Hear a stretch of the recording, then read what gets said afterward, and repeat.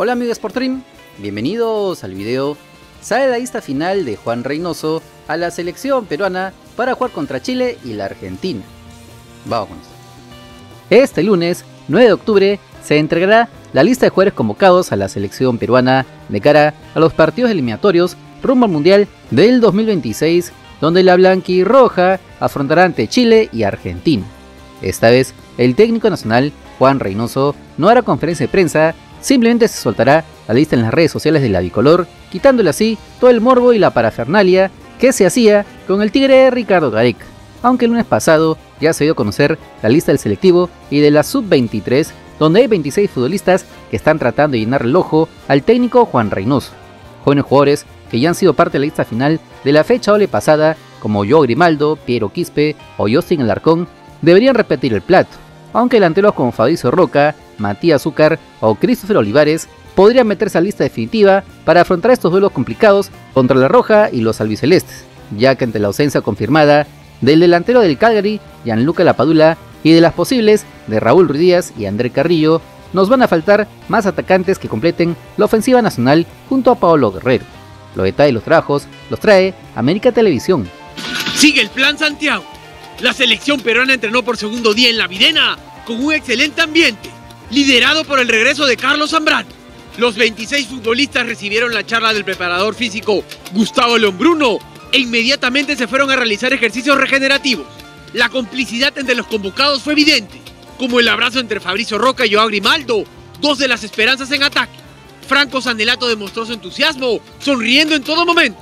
Es más, junto a Jairo Conchi y Brandon Palacios, tuvieron una entretenida charla. Brian Reina dejó atrás la lesión y entrenó al máximo, al igual que Carlos Zambrano, uno de los futbolistas más esperados en esta fecha doble. Juan Reynoso observó los trabajos de sus dirigidos, mientras Yoshimar Yotun conversaba con los más jóvenes en el calentamiento. Los jugadores ejercitaron con el tradicional rodillo y una pelota pequeña para relajar los músculos antes del partido de práctica. Los futbolistas fueron divididos con chalecos de dos colores, destacando Aldo Corso con los rojos y Reina con los azules. Pensando también en el encuentro ante Argentina, la estructura ante espías ya está terminada, para evitar cualquier filtración de información. Explicado esto, se ve entonces complicado que el resto de jugadores que integran la lista del selectivo tengan alguna chance de jugar las clasificatorias, aunque jugadores como Alexis Arias, Leonardo Villar, Brando Palacios o el mismo Santiago Ormeño estarían siendo observados más para armar un posible equipo patrio de cara a la fecha de noviembre cuando enfrentemos a Bolivia en La Paz, ya que los cuatro mencionados tienen mucha experiencia jugando en la altura, de hecho ya se conoce que el microciclo de la selección a fines de este mes se irían a entrenar a Cusco, donde se trabajaría para romper la pésima racha sin victorias en los más de 3.800 metros de La Paz, aunque en los actuales trabajos de la sede de San Luis también habrían invitados, como son Daniel Crisóstomo, Alessandro Burlamaqui o Catril Cabellos. Sin embargo, estos últimos podrían ser la sorpresa en la lista final del lunes, así lo dejó entrever el periodista deportivo Kevin Pacheco en RPP. Lo más probable es que la lista de convocados salga el día lunes 9, es algo que hemos venido comentando, previo a lo que será el viaje, que se está programado para el día 10 eh, por la tarde. La lista de los futbolistas extranjeros. Si bien esta postura eh, eh, que se tiene es que la lista final se conozca el día 9, van a ir llegando futbolistas desde el exterior. Sí. Esto con una consigna, básicamente una política del comando técnico, de que de alguna manera ningún futbolista, más allá que hay fijos, ninguno se termine de sentir fijo y el que quizás no siente que tenga tantas posibilidades, pelea hasta el final una posibilidad de convocatoria. Esto es lo informativo. Claro. En relación a los del torneo local. Del torneo local y también del extranjero, Andrea, porque... No, pero ¿cómo, cómo van a sentirse fijos? O sea, evidentemente se van a sentir fijos si tienen que viajar, ¿no? No, Claro. voy, a, voy a argumentar por qué. No lo va a traer por las puras. No, porque, a ver, por ejemplo, doy un... Burlamaki viene. No, También pero viene viene, para, Catril viene- para el grupo. Pero ellos- no vienen, ellos vienen como, 23. como invitados. No, eh, viene como invitado Pinto. Burlamaki viene como convocado. Por ejemplo, es lo que me indicaron. Enrique Pinto, que es el futbolista del Real Valladolid. Pero ellos vienen para trabajar pensando en la sub La 23, No claro. tienen ninguna opción de estar en la lista del día lunes de viajar. Ni Burlamaki ni Cabello. ¿Usted cree eso? ¿Que sí tienen opciones? No, yo digo que Catriel no. Ojo, no sé si Burlamaki. o sea, No, no tienen. no, pero, pero ¿tiene opción de quedar en la lista para viajar a Chile? No, me parece que tiene pocas, pero el comando técnico lo puede ¿Tiene muchas o pocas? ¿Tiene opción? O Creo sea, que- no considero está que tiene descartado. poca. No está descartado De acuerdo, en todo caso. listo. Eh, considero poca. Eh, la lista de los futbolistas, fuera de los nombres, entre Burlamaki, Cabellos y Pinto, Pinto eh, Peña, perdón, está totalmente descartado. Es que sea aproximadamente entre 16 a 17 el extranjero. No, no, eso, eso- ¿A eso Chile cuántos viajan más o menos? La intención es que viajen aproximadamente entre 26 a 27. Aproximadamente futbolistas. O sea que cuatro queden, en- cuatro queden fuera de lista. Escuchado esto, se puede entender que nadie estaría fijo en la lista final de Reynoso, aunque hay quienes no van a faltar, como son Pedro Galese, Hernando Tapia o Paolo Guerrero. Ellos son los pilares de esta blanquirroja. La única manera de que los consagrados falten es que caigan lesionados o no estén al 100% físicamente, ya que su jerarquía les daría ese espacio en la lista de 28 jugadores que convoca el cabezón ante los mapochos y los gauchos.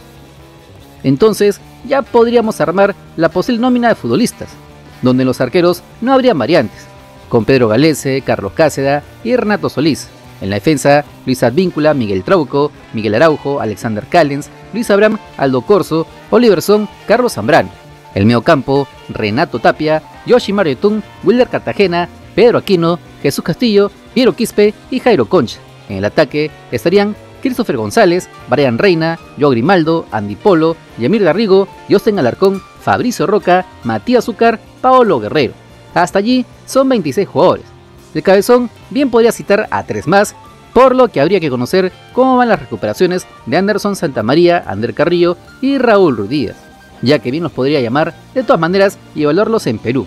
Pero de no darse su recuperación al 100%, esto podría abrirles las puertas a jugadores como Rafael Utiger, Franco Sanelato o José Rivera. Veremos entonces qué es lo que decía ser el técnico nacional Juan Reynoso de cara a esta fecha doble clave donde requerimos sacar por lo menos la mitad de puntos para callar las duras críticas al juego, sobre todo en la ofensiva, de la selección peruana. Pero, ¿tú qué piensas? ¿Cuántos puntos crees que saquemos ante Chile y la Argentina? Ya sabes que los comentarios son todos tuyos. Bueno amigos, esta fue la información que les dábamos acerca de los convocados o los posibles convocados a esta selección peruana ya para jugar las eliminatorias contra eh, Chile en Santiago y la Argentina en Lima, pues, ¿no? Y hay que decir que a pesar de toda la información que se ha dado al respecto de esta, de esta blanquirroja, Reynoso no se está tra- trabajando para esta fecha de octubre, sino también para la fecha de noviembre, y por eso convocó a jugadores que por ahí uno extrañaría, ¿no? Como el caso de Alexis Arias, por ejemplo, que no digo que no esté jugando bien en Melgar, pero no ha sido parte de la selección en mucho tiempo, ¿no? La única explicación, en el caso de, también de Villar, por ejemplo, o de Brandon Palacios, eh, es de que están jugando en la altura y que por ende están, eh, lo está probando ahora, está viendo cómo están sus mediciones y cómo pueden adaptarse a este plantel de la blanquirroja de cara al partido contra Bolivia en La Paz. Igual pasa con Santiago Ormeño. Santiago Ormeño, eh, hemos visto que también en su club no aporta demasiado, no hace demasiado. Hemos dicho que ya este, más de dos meses sin, eh, haciendo solo un gol nada más. Está terrible ahí en México, muy pocas veces este, es usado por su técnico en partidos oficiales del Juárez. Y entonces uno le causa extrañeza lo de Ormeño en esta fecha doble de octubre contra Chile y Argentina, pero si ponemos el partido contra Bolivia, o sea, empezamos en la altura de La Paz de Bolivia, donde no nos va bien, y recordamos incluso el partido pasado, el último partido en La Paz, donde perdimos 1-0 en los últimos minutos, vamos a darnos cuenta que eh, en ese partido sí estuvo Ormeño, sí se le incluyó, y fue de lo, digamos, de lo menos malo en la selección, de esa selección, en la altura de La Paz, eh, los minutos que estuvo, ¿no? O sea, entonces, que por ahí podría entrarse, pero no para este, esta fecha doble, sino para la fecha de noviembre. Aunque, quién sabe, pues nota es. Ormeño es convocado de todas maneras a este, a este lunes eh, y eh, luego es y, por ahí no sé, los entrenamientos la rompe en esos tres días que tendrá entrenamientos en la Videna antes de viajar, o en este caso en, en Chile, para luego este, que sean convocados los partidos contra Chile y Argentina, quién sabe, pues no, o sea, con Reynoso no se puede saber nada. Pero yo calculo que estos cuatro que les menciono, al menos, este, lo del Chacarias, lo de Villar, lo de Palacios y lo de Ormeño, eh, Reynoso más que todo los llama pensando en el partido contra Bolivia en La Paz en noviembre. O sea, tampoco queda mucho, ¿no? Un mes nada más. Eh, entonces ya está planificando. De hecho, ya eh, les hemos informado también que se viene planificando un microciclo en Cusco, pues, ¿no? O sea, lo que está haciendo ahorita la Videna en Lima lo harían en Cusco, eh, pensando en el partido contra Bolivia. Pues, Y obviamente yo ahí sí calculo que si en esta fecha de octubre ha llamado a tres o cuatro jugadores que actúen en, la altura, incluye la Liga 1 de la altura, eh, en, la, en la fecha de noviembre lo llamará, si que la mitad estarán jugando en la altura, o ya habrán jugado en la altura, pues, ¿no? Como el caso de este, el Chacarias, otro más del Milgar, pues, ¿no? Donde veríamos es que por ahí Bernardo Cuesta le dan las chances, aunque sabiendo de que la Padula puede volver ya en noviembre, va a ser complicado de que ingrese Bernardo Cuesta en esa posición, pues, ¿no? Si, si antes tienes ahí, por ejemplo, a Olivares, que está jugando en la altura, por ejemplo, pues, ¿no? O Fariso Roca, que también eh, tiene experiencia jugando aquí en, en la altura, a pesar de que está jugando, a pesar de que es el jugador del Boys, que es del Callao. La cosa que eh, en esta convocatoria final de este lunes, para esta fecha doble de octubre contra Chile y Argentina, va a haber novedades, obviamente. Está la primerísima de Oliver Son, que ya mañana va a ser tendencia. No le quepa la menor duda que el sábado va a ser tendencia todo el día a Oliver hasta la noche, hasta que sepa algo de él, hasta que se tenga una declaración de él. Si bien la prensa no va a tener acceso a Oliver Son, porque prácticamente lo van a eh, la federación lo va a abordar en el aeropuerto, de inmediato una, una van, una minivan y luego de frente a los entrenamientos. No va a ser bien difícil que la prensa y mucho menos los hinchas tengan acceso a Oliver Son y, ver qué es lo que dice, pues, ¿no?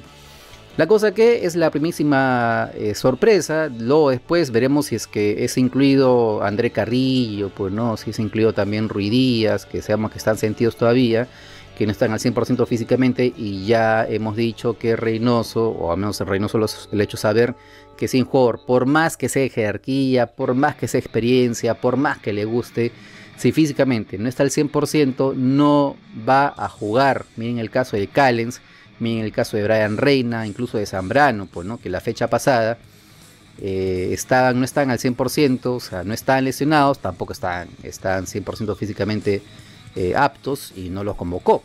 Incluso Callens también lo hizo eh, venir desde España, pues en ese tiempo estaba en España, estaba en el, eh, en el Girona. Lo hizo venir acá a Perú, acá que se recupere, al final nunca se recuperó, no estuvo al 100% y entonces Reyno- Reynoso no lo puso, pues no lo convocó los partidos contra Paraguay y Brasil, más que todo contra Brasil, que se esperaba ¿no? que contra Brasil podría recuperar, no apareció. Así que ya visto esto con Callens, con Brian Reina, con Zambrano, dudo mucho que esto vaya a pasar también con André Carrillo o Raúl Ruiz Díaz, que a día de hoy todavía no está haciendo fútbol, pues, ¿no? Raúl Ruiz Díaz todavía está con eh, problemas en la espalda. Ayer, anteayer jugó su, su equipo, no estuvo presente, todavía le duele la espalda, como decíamos. Y lo de Carrillo algo parecido, Carrillo tampoco está al 100%, no está haciendo fútbol tampoco en Arabia, así que va a ser bien complicado que a menos de una semana se les convoque a estos jugadores para estos eh, encuentros definitivos, ¿no? Quitándole el espacio a otros jugadores que por ahí sí se lo merecen, pues, ¿no?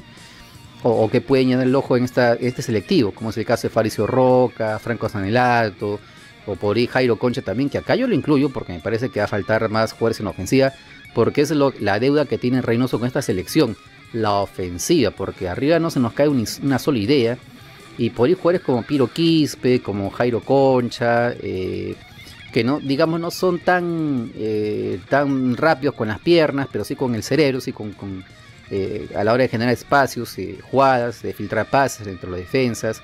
O sea, pueden ser jugadores muy interesantes, pueden ser jugadores a los cuales eh, nos caería bien que estén en la selección, al menos contra Chile y Argentina, que son rivales también, repito, bien complicados, sobre todo Chile en- en- por, lo de- por, por el tema de la visita en Santiago. Y a Argentina ya ni qué decir, Argentina es el mejor equipo del mundo, a pesar que no esté Di María o por ahí no esté Messi al 100% también físicamente.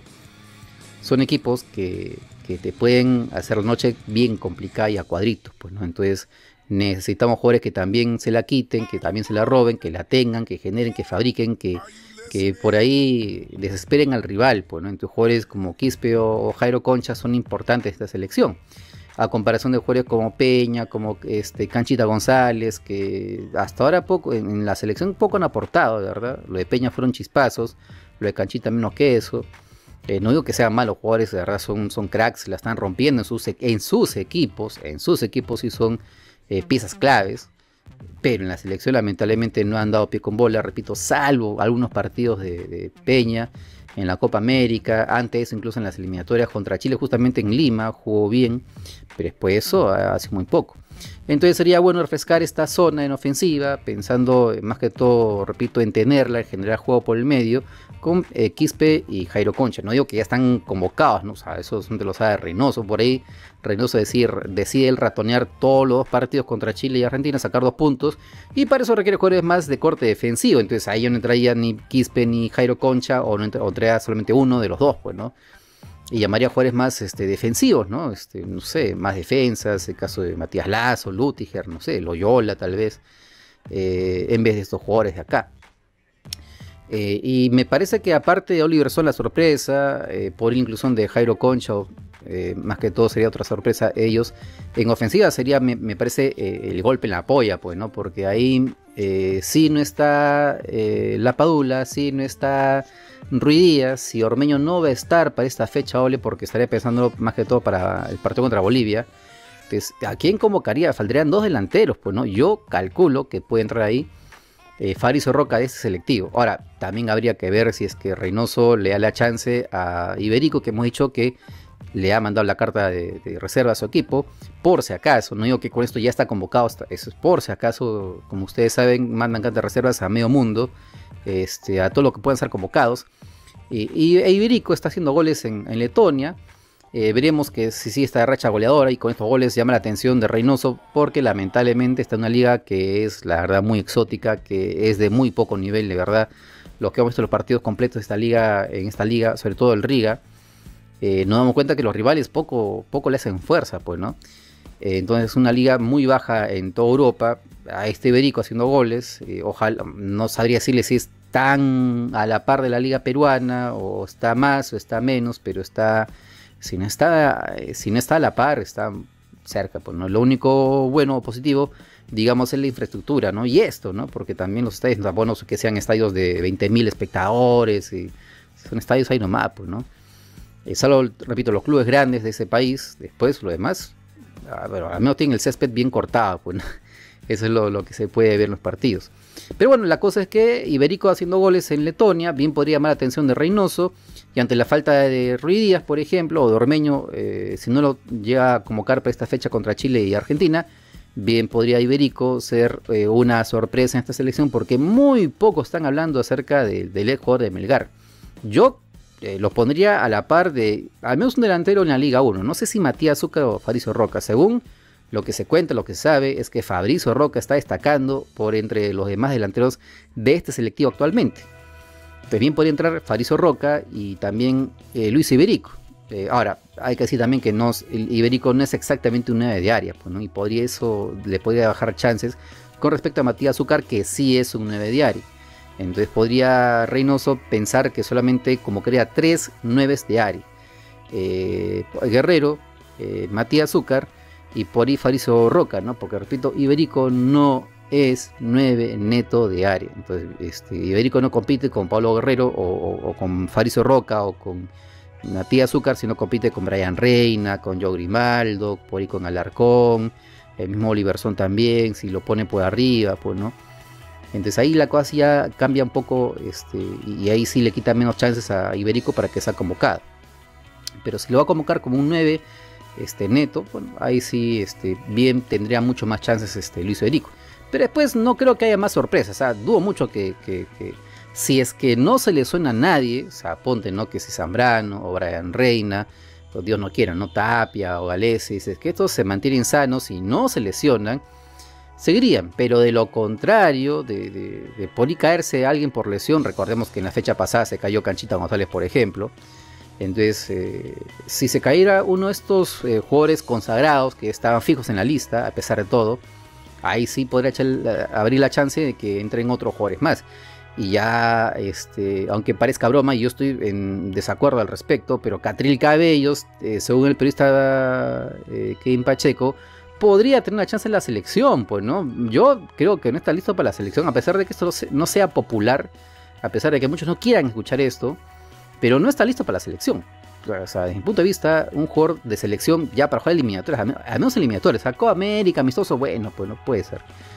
Pero en eliminatorias contra la Argentina campeón del mundo, contra Chile en Santiago, que históricamente nos ha ido bien mal en ese país, o sea, partidos dificilísimos, te puedo atracar contra Venezuela y contra Bolivia, en Lima, los dos. ya puede ser. Pero contra Chile en Santiago y Argentina, así sea en Lima, contra la campeón del mundo y contra Messi, o sea, llamar a Catrel Cabellos que tiene poquísimos minutos en primera división, que apenas dice es profesional, que juega en la reserva del Racing, a pesar de que antes ya jugó en, el primer equipo, pero ha jugado, repito, muy poquito. Sin partidos eh, internacionales eh, con su club, solamente la, la experiencia que tiene de la sub-20, me, parece que es insuficiente la experiencia que tiene para jugar en la selección. Y no digo que la única manera que tenga para agarrar experiencias en la selección. O sea, la experiencia se agarra de muchos, muchas formas, pues, ¿no? Con el club, jugando Copa Libertadores, Copa Sudamericana, eh, y obviamente jugando Primera División en Argentina, pues, ¿no? Eh, en la selección sub-20, pero una, una experiencia pe- o sea, que sea decente, ¿no? O sea, porque cuatro partidos desastrosos que hizo la sub-20, a pesar de que Cabello fue lo, lo- más rescatable de la sub-20, eh, no es experiencia suficiente como para que sea este, eh, llamado a los eliminatorios. Pero, repito, esa es mi opinión personal, pues, esa es mi evaluación, ni siquiera es mi opinión, es mi evaluación. Yo ya he dado los datos que respaldan este, mis, mis argumentos de por qué Catrel Cabellos no está listo para la selección. Son muy pocos los minutos en primera división, son muy poco, es muy poco lo que ha hecho en esos minutos en, el Racing, sin partidos internacionales, con pocos partidos en una experiencia de sudamericano que ha sido desastrosa para la selección. Eh, entonces jugadores, eh, jugadores como él no, no, para mí no estarán listos, pues, ¿no? Este, en contraparte, como yo, Grimaldo, Piero Quispe, que sí tienen partidos de experiencia en copas internacionales. En caso de Grimaldo, sí tiene experiencia de sub-17, sub-20, hasta sub, ahora será sub-23 también. Igual Piero Quispe, ¿no? Sea, que él tiene experiencia sudamericana, Libertadores, por ahí le falta la, selección peruana, pero está ahí. Entonces, este, hay una, gran diferencia. Pero, repito, la información es esa, de que ante las lesiones, ante posibles lesiones en el medio campo, bien podría entrar Catriel Cabellos. Lo de Burlamaqui me parece que es menos porque es el caso de, casi el mismo caso de, de Catriel. Si bien Burlamaqui sí tiene experiencia más, ya digamos en, en ligas semiprofesionales, porque la tercera división o la cuarta división no son ligas profesionales, pues, son ligas semiprofesionales, o si quieren semi-amateurs. Eh, entonces, lo de Burlamaqui me parece que sí le faltaría, ¿no? Este, eh, le faltaría, me parece, eh, tener más, más minutos en una liga profesional, que es hasta la segunda división de España. Hasta la liga, eh, porque la primera es la Liga Santander, la segunda es la Liga Smartbank, y faltaría que llegue ahí, pues, ¿no? Si Burlamaqui está en la Liga Smartbank, por lo menos me parece que sí tiene chances de caer convocado. De lo contrario, no. Eh, y ya, entonces ya hemos revisado la lista. Me parece que no habría muchas novedades, sorpresas, salvo lo de Oliver Son, que para ya nadie es sorpresa a esta altura. Eh, lo de Faricio Roca, Matías Zúcar, que también me parece que es muy, muy, eh, es muy dable, se puede dar esto. Y después, por ahí no sé cuánto, no sé qué tanta sorpresa sería lo de, lo de, lo de Jairo Concha, incluso hasta lo de Franco Sanelato. Parece que han hecho lo- los méritos para estar en la selección. Eh, a pesar de que igual Sanelato no tiene experiencia tanta en copas internacionales ni selección peruana porque él es paraguayo y a pesar de todo esto este, puede ser convocado por la selección peruana, lo ha hecho, puede jugar por nuestra selección y así pues, ¿no? Entonces sorpresas, así sorpresas, algo que, que nos llame poderosamente la atención, eh, tanto negativa o positivamente, creo que no hay, ¿no? O sea, los que ya me, me supongo que la única sorpresa que sí creo que nos haría caer de espaldas es lo de Iberico, porque muy pocos lo tienen, pero muy pocos lo tienen. ¿ah? Desde que se fue a, a- Letonia, muchos ni, ni saben qué está jugando, ¿no? Ni saben qué está jugando, ni saben cómo, eh, cuál es el peinado de Iberico. Pero después, creo que no hay sorpresa. Entonces, esta lista que les he mostrado es, será básicamente la lista que aparecerá el lunes. Estoy casi casi seguro, salvo uno o dos nombres. Puede ser la lista que aparece el lunes. Este, y veríamos si Reynoso eh, nos da la razón o no, pues, ¿no? Pero dime tú qué piensas al respecto. ¿A qué nombres de estos? Porque no va a salir con, con- con el chivolo del Bayern que está en la reserva. No, ese no, no lo va a convocar porque no está convocado ¿no? ni siquiera de, de invitado, pues, ¿no? Entonces, este, jugadores que estén en este selectivo o que los vayan a invitar, este, Reynoso, a estos, entrenamientos en la Videna, ¿a qué jugadores tú crees que estarán en la lista final o será la sorpresa en la lista final de Juan Reynoso para jugar contra Chile y Argentina? Ya sabes que los comentarios son todos tuyos, los leo a todos y le respondo a todos. Ya sabes que estás en el verdadero canal de todo el fútbol peruano. Si te gustó, le da like, comparte, suscríbete con la campanita. Nos vemos mañana más tarde así, toda la semana. Chau.